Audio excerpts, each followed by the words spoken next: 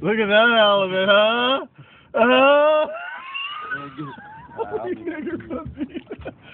I love you know how big that is, boys and girls, but that's that's uh, over a hundred pounds.